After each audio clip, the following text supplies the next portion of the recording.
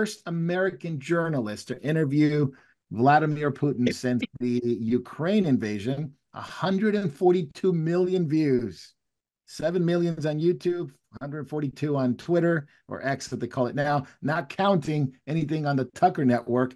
Uh, this is bigger than the Super Bowl. It nearly broke the internet. It had more views than any any interview he's ever done or anyone has ever done.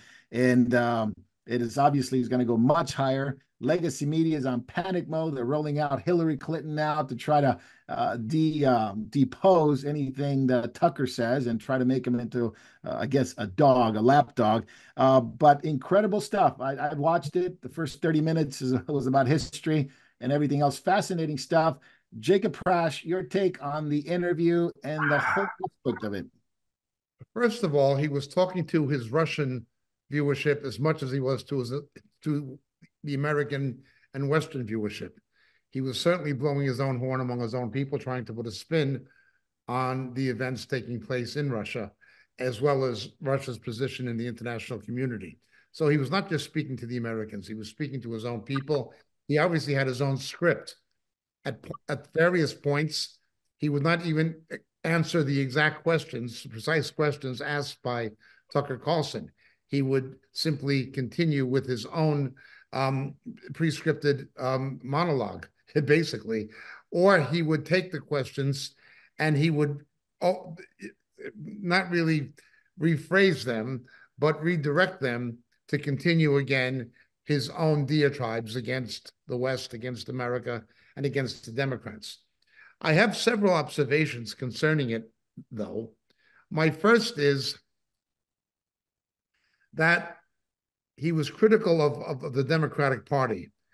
And we can bet that the Democratic Party and the mainstream media are going to try to resurrect the uh, false narrative they had the last time about collusion. They're going to say, see, he doesn't like Biden. He doesn't like the Democratic Party. He's collaborating with Trump. They're going to try to say that again.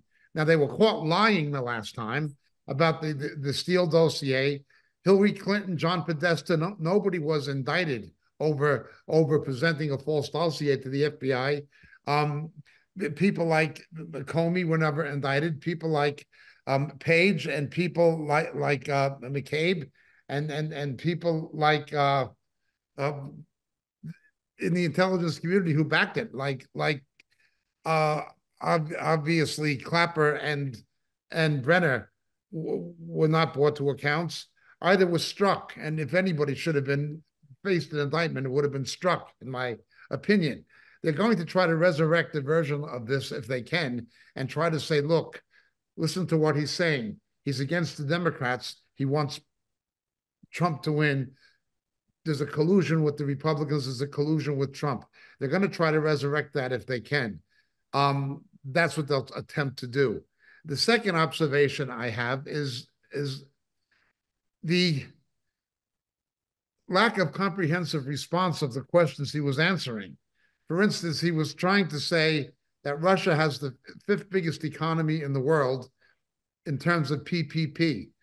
PPP is purchasing power. It's not the same as gross national product, and it's not the same as gross domestic product. It's it's something else. How much can you buy with your money? And he was saying China can buy the most. Of course, what he was not saying is that you can buy a lot more. A kilo of rice is going to cost a lot less in Nigeria or or or, Pakistan than a kilo of rice is going to cost in California or in England. Um, he, he wasn't making that kind of comparison. He was just saying the PPP is bigger, but he wasn't telling you that the although you can buy more with the same amount of money in China, that the average wage in China is about twelve thousand or twelve and a half thousand dollars a year. Well, you can buy more with that amount of money, but it's a lot less money.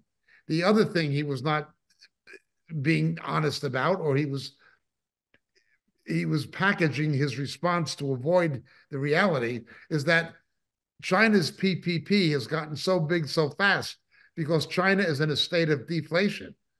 Now, deflation is as dangerous as hyperinflation.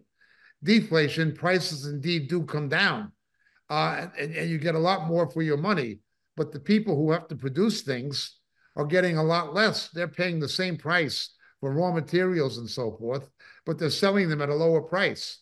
Deflation is as deadly as hyperinflation. So he wasn't giving the reasons for China's PPP. He was just stating certain facts non-inclusively or non-comprehensively. He was only highlighting certain aspects that he wanted people to buy into. And there are people who will do that. They, they won't understand what the PPP really means, or they won't link the high PPP in China to the low wages or to the deflation. So he was not really honest in a lot of his responses. One of the things that I would say deserves some credence, or at least should be listened to, is something that many Western economists, including American economists, are saying. By weaponizing the dollar and the SWIFT system, it is pushing people away from the dollar into things like BRICS and to alternatives. Now, again, here, he was only telling half the story. He wanted the ruble at one point to replace the dollar. Uh, obviously, that's not going to happen. Ruble is now worth about a penny or just a little over one US cent. Um, there were people who wanted to replace the dollar as the world currency reserve anyway. But by the sanctions on Russia, but by freezing Russia Russian assets and by closing Russia out of the uh, currency system, it was uh, had an effect of, of, of giving further motivation to, to other nations going into BRICS saying, look, the Americans can freeze our assets, they can freeze our accounts. Absolutely, absolutely. They can, Dangerous. They can pull out of, uh, so we need an alternative to protect ourselves. Now, again, these countries, particularly Russia and Iran and China, wanted to replace the dollar anyway. But by doing what we did, the question is, are we giving them are we putting fuel on a fire that already exists that we'd like to contain? Um, so I would say that that aspect of of his remarks in the interview need to be considered. They need to be given serious economic consideration. But of course, the Biden administration does not have either the intelligence or the ability to do that. You're, dealing with not just this, uh, you know, I used to say that Joe Biden was a half senile corruptocrat. I no longer have that opinion. I must recant the view that he's a half senile corruptocrat. He's just a senile corruptocrat. the man is not in control of his faculties. No, have you seen? I mean, do you see the last one? He's calling, uh, was it El Sisi, the president of Mexico, shutting the border? El Sisi, the president of Mexico. That's, he, you know what he's talking about. He's, Francois, he's, he said he met Francois Mitterrand. Uh, he's out of it. He's been dead for years. He just he said he met him the other day. I don't mean to laugh at, at, you know older people that are losing. Yeah, he, he is not a half. He's not half senile. He's just senile. Mm.